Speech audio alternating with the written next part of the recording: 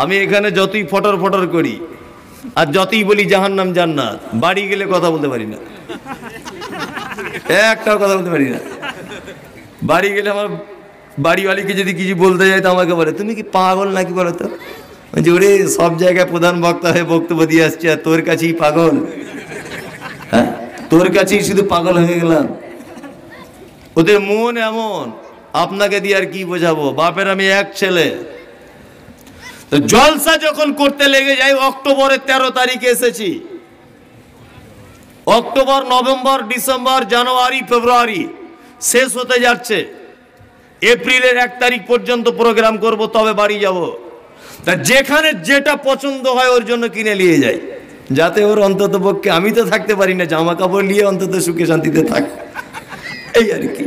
আমার আব্বা আবার একটা বৌমা বলে সব সময়তেই জামা কাপড় দেয়। মা আবার একটা বৌমা বলে সব সময়তেই দেয়। আমার শ্বশুর শাশুড়ি একটা বউ মানে বেটি বলে সব সময়তেই জামা কাপড় দিতেই আছে। আমি বাংলাদেশে ছিলাম, বাংলাদেশ থেকে মনে হয় তিরিশটা সালোয়ার এনেছি, ওরই লেগে। বছরে, শুধু বাংলাদেশের সালোয়ার। তা বছরে মনে হয় একশোটা জামা কাপড় ওরই হয়। তারপরেও যদি কখনো বাড়ি গিয়ে একটু আনন্দ করে বলি যে, তামিমের মা সেটা একটু কলকাতার দিকে কোথাও বেরিয়ে আসি, গাড়িটা বার করছি। তো আমার স্ত্রী বলে, কি পরে যাব? ভালো শাড়ি আছে নাকি? ভালো শাড়ি আছে তা পরে যাব? মনে মনে বলি রে তোকে বছরে একশোটা দেবার পরে ভালো শাড়ি নাই? তাহলে ভালো কাকে বলে? এর নাম নারী। কি বুঝে বুঝতে পারছেন না? অল্প জিনিস ওদের মন ভরবে না। দুই, স্বামীর অকৃতজ্ঞ। স্বামীর অকৃতজ্ঞ মানে আপনার গাছে একটা কাঁঠাল ভেঙেছেন। কাঁঠালটা স্বামী স্ত্রী দুজনা খেতে বসেছেন, আপনার স্ত্রীকে বলছেন, খুব মিষ্টি বলো কাঁঠালটা। খাদিজার মা বলো, খুব মিষ্টি না? খাদিজার মা তখন মাথা চুলকাতে চুলকাতে বলবে মোটামুটি, তবে আমার আব্বাদের সেই দক্ষিণ মাঠে একটা গাছ আছে, ওর থেকে মিষ্টি নয়। ও বলবেই, এটা ওর চরিত্র। ও স্বামীকে জীবনে বড় করবে না। করবে? আজকে রাতে পরীক্ষা করুন। বাড়িতে গিয়ে বলুন দেখো খালেদা, তোমার হাতের রান্না এত টেস্ট চেটে খায় তোমার মাথার চুল, তোমার গোলাপি ঠোঁটের হাসি, তোমার একদম ঐশ্বর্য রায়ের মতো চোখ, তোমার কোমর দোলানো চলন, তোমার মাথার চুল, তোমার হাসি, তোমার চোখ, তোমার নাক, তোমার হাতে রান্না, তোমার আমাকে প্রেমে পাগল করে দেয়। রাতের বেলা শুয়ে শুয়ে বালিশে বলছেন আর ঠিক আল্লাহ ইসমিক আমতোয়াকে এই দুয়াটা বলার আগে ছোট্ট করে বলবেন, তোমার সব ভালো, তোমার আব্বারা কিন্তু লোক খারাপ। এটা একবার বলে দেখবেন তো। নয়, রাতেই গলা ধরে টিপে দিবে। আর না সকালে ওষুধ খাইয়ে মেরে দেবে। ওর বাপের বাড়ি বদনাম করা চলবে না। চলবে? এ, কথা ঠিক বলছি না ভুল বলছি? যত মাদানি হও সাইকুল হাদিস হও, বক্তা হওয়ার যাই হোক বাড়িতে গেলে কোনো সাইকুল হাদিস কাজ হবে না। কোনো কাজ নাই। যেটা বলবে ওটাই শোনো। না শুনবে, কেটে পড়ো। এর নাম নারী। ওদের বুদ্ধি নাই, ভাববেন না। যাই, কোনো পুরুষ মানুষ যদি ভাবে যে ওদের বুদ্ধি নাই, এটা যেন কেউ না ভাবে। ওদের যা বুদ্ধি আছে, আপনার বারোটা বাজিয়ে দিতে পারে। গাঁঠে গাঁঠে বুদ্ধি। ওরা কেমন আপনাকে একটা কথা বলি, তারপর আবার আপনাদেরও বলব। এতক্ষণ যেমন বিড়ি, সিগারেট বলছিলাম, ওরা তখন খুব হাসছিল, ঠিক বলছে। ঠিক বলছে, আমাদের লোকটাও বিড়ি খায়, ঠিক দিচ্ছে মনীষায় এবার তোমরাও শোনো তোমাদেরকে হচ্ছে ব্যবস্থা। এই, আপনাদের এখানে আচ্ছা বলুন তো একটা ট্রেন রায়গঞ্জ স্টেশনে ঢুকছিল। প্ল্যাটফর্মে ঢোকার আগে হঠাৎ করে দাঁড়িয়ে গেল। বলুন তো কি দেখে দাঁড়ায়? রেড সিগন্যাল মানে লাল বাতি। লাল বাতি মানে কি? বিপদ? বিপদ তো। রাস্তায় কোথাও কাজ হচ্ছে, দেখবেন একটা লোক লাল পতাকা নিয়ে এরম করছে। মানে বিপদ। লাল সংকেত মানে বিপদ। আপনাদের এখানে যখন ছেলে বিয়ে হয়, নতুন বৌমা যখন বাড়িতে আসে আচ্ছা সাদা শাড়ি পরে আসে কালন সবুজ না লাল? লাল। সেই দিনে শ্বশুর শাশুড়িকে বিপদ সংকেত দিয়ে দিয়েছে। যে এবার আমি ঢুকছি। তোমার বারোটা বাজাচ্ছি, দাঁড়াও। দুই দিনের মাথায় ছেলেটা ভালো ছেলে। ঘুম থেকে উঠে বলছে, মা, তোকে একটা কথা বলব?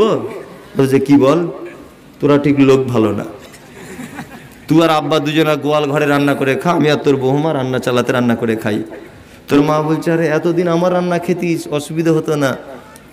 এখন হঠাৎ কি ব্যাপার, তোর বউকে নিয়ে আলাদা হয়ে যাবি? এই যে, দুদিন এক বালিশে মাথা দিয়ে ওকে যে কি তাবিজ দিয়েছে, সকালে উঠে বলছে, আব্বা, তোরা লোক ভালো না। কি বলছে বুঝতে পারছেন? এই বিপদ সংকেত, লাল শাড়ি পরে ঢুকেছে। ওটা আপনি বুঝতে পারেননি, ওটা আমি বুঝতে পেরে যাই। বুঝলেন না? ওরা কত খাতারনাক, ওদের বুদ্ধি কেমন? আপনাকে একটা ছোট্ট কথা বলে আরও দুটো হাদিস বলব, তারপরে শেষ করব। দুটো হাদিস আপনাদের ব্যাপারে বলব। এক, একটা আপনাদের এখানে হাঁসের মাংস খায়?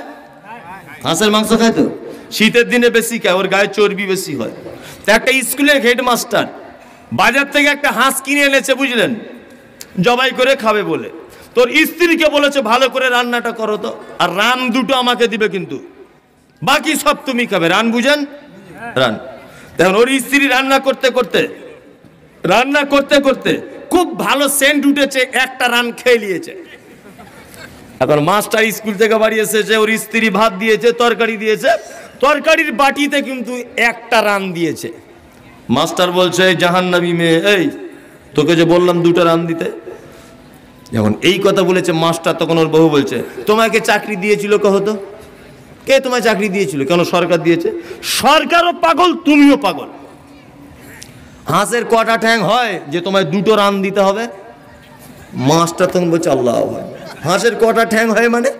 হাঁসের দুটোই ঠ্যাং? ঋষি তখন বলছে "ধ্যাৎ, পাগল কোথা করে হাঁসের একটা ঠ্যাং। মাস্টার তখন বলছে, কঠিন বিপদ। খুব ঝামেলা বেঁধে গেছে, বুঝলেন? কঠিন ঝামেলা।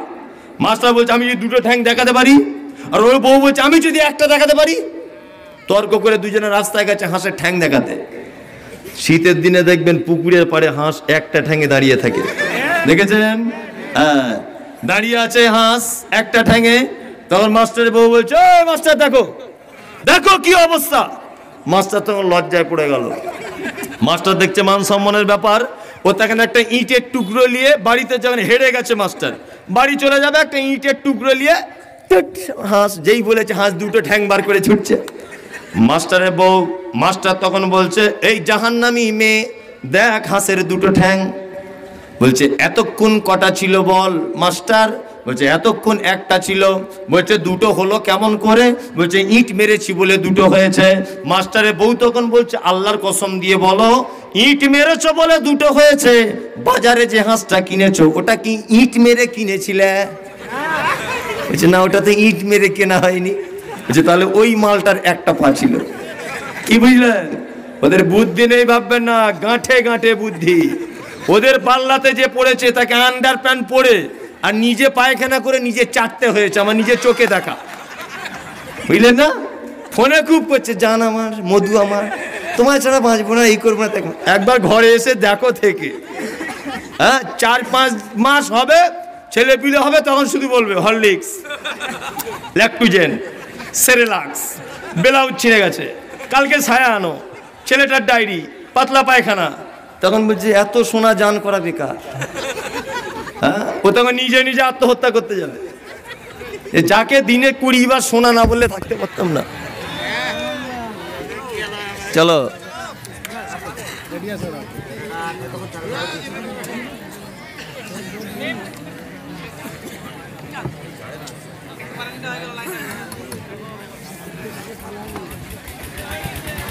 আহ,